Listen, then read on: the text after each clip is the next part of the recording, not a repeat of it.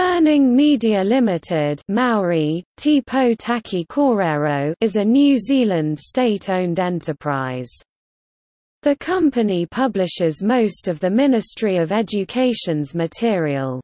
A division of the ministry until 1993, it continues to publish the School Journal and Junior Journal magazines and the ready-to-read readers for the ministry, as well as services for other organizations.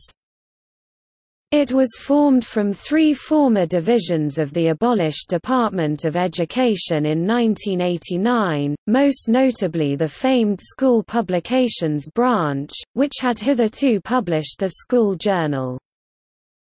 It has published an English Maori dictionary by H. M. Ngata, first in print as English Maori Dictionary in 1993, and later on the web as the Ngata Dictionary.